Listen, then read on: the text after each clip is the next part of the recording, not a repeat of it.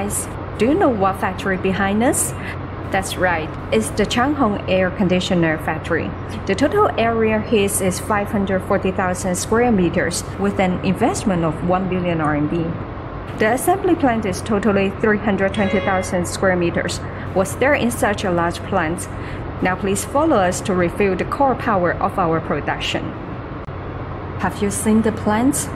Besides of the production plant of the indoor line, outdoor line and commercial air conditioner, there are also logistic park and warehouse. There are so many factories standing here. You can see that here our production lines are in full swing to make the peak season of this year. This is one of the outdoor production lines. Today we invite the outdoor production process expert, Mr. Huang. He will introduce to us what kind of process is being carried out at this moment. What we see now is outdoor unit combined vacuum and charge manufacturing process. This vacuum is double channel with high working efficiency and accuracy. When the vacuum is done, it just goes directly to the gas charging and reduce the middle process. This could avoid the possibility of mixing the air to guarantee the AC quality. The quality requirements of Changhong air conditioners are really very high. Now let's go to see what compressor does Changhong use. Mr. Huang, could you please tell us what the big machine is working there? This is a fully automatic compressor robot. It is imported ABB robot with automatic identification technology. Automatically identify the position, carry, and set the compressor. And our compressor brand are world famous like Highly and GMCC.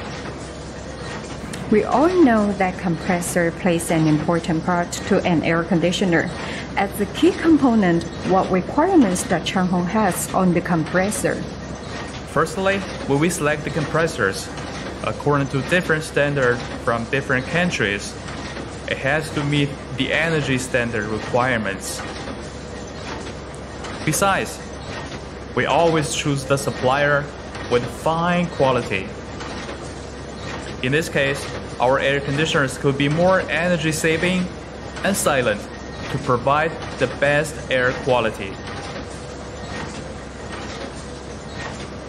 A good air conditioner is composed of every indispensable part. So how do we control the standard of these parts? Now let's welcome another expert, Mr. Wang, to introduce us to the production process of some key components. Hi everyone. As we all know, the core two parts of air conditioners are compressor and heat exchanger. When it comes to heat exchanger, the most important procedure is leakage detection. Now I'm gonna introduce Changhong halogen detection technology. There are two kinds of leakage detection for AC. One type is water leakage detection, and the other is vacuum type halogen detection. Do you know what's the difference between the two? Halogen detection is the most advanced and accurate way for AC leakage detection now. Changhong started business with the military industry. In early years, halogen detection was firstly used for military products like aerospace components leakage. Of course, as the development of new technology, this work is fully used for AC industry. Here we have a big machine we call it vacuum type halogen detector. This is for the heat exchanger leakage detection. We make vacuum, halogen charge, and seal off the pipe. Now the condenser is charged full of halogen, and we put them into three working chambers. The accuracy is very high by doing this way. This is the working theory of leakage detection as we largely promote this halogen detection, all of our Changhong AC are detected in this way now. How accurate could they be? If our heat exchanger passes our halogen detection, then the gas leakage will now be over 2 gram per year. so the accuracy is very high. This is the brief introduction of vacuum type halogen detection. This material in my hand is an important component of air conditioner, the copper pipe. Is there any special requirement for it? Mr. Wang, please give us a brief introduction. Hi there, as we all know, there are two important materials for heat exchanger. One is copper, as we see now. The other one is aluminum, later I will introduce. When it comes to the copper, the finest type of copper pipe in AC business is purple copper pipe. As a matter of fact, the current yellow and purple copper are the best copper. So we always select the best raw materials. And we talk about the copper processing. There is a very advanced technology. Let us zoom in a little. When we cut the copper pipes, there will not generate any copper powder and scale. Here we call it chipless machining. This will bring us three direct advantages. First, this could lower the raw materials consumption and save the manufacturing cost. Secondly, this could avoid the powder from getting into the copper pipes and cause blocking. Thirdly, this could lower our friction of gas flow to operate quietly. The quietness is great. On the other hand, you could see our scale. We have over 20 sets of equipment. All of the copper processing are automatic. From the copper pipe, bending pipe, shipping pipe to loading into the box are all automatic. So our degree of automation is high. Now we have 21 sets of the bending machine. 40 to 50% are imported from Japan and Italy. In this case, our copper pipe from selection to processing and the machine we use are all the best in the business. This is our copper pipe processing. Another point worth an introduction is, we could take a look from this angle, we cannot see the inside of a copper pipe. Actually, they are inner grooved. We use inner grooved copper pipe, and only Changhong adopts the Shou Gao technique, which enlarges the inner heat exchange area of the copper pipe. So the heat exchange result is very promising and the cooling performance of AC is excellent. Nowadays, Changhong uses Shou Gaoshi for all the units. This is the introduction of the copper pipe processing. Thank you very much.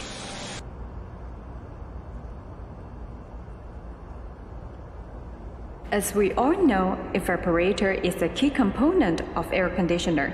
We see many evaporators in the market. Most of them are bending type. So what kind of evaporator does Changhong use? The place where we're standing now is the evaporator temporary stock area.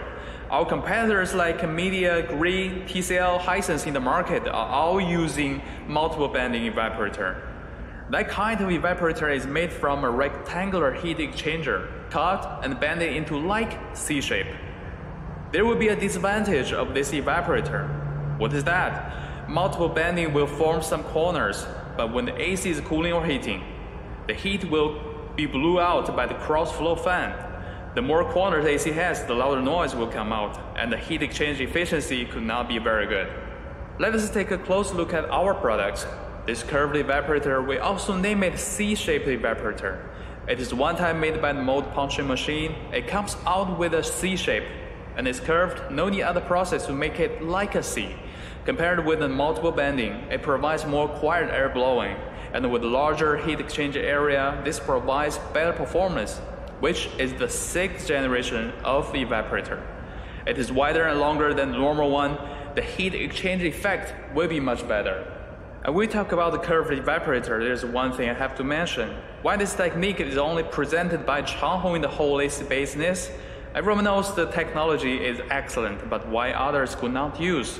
The fact is, we invested 1 billion yuan on this technology in 1997. 80% of the equipments were imported from Japan, and we bought this patent when we imported equipments. Changhong holds the patent till now. Till now, we have totally 10 sets high-speed punching machines, and all evaporator are C-shaped. Therefore, this patent is owned by Changhong only. Others know the advantage of it, but they could not use it. This is the specialty of Changhong products, with better performance and design. Let's have a look.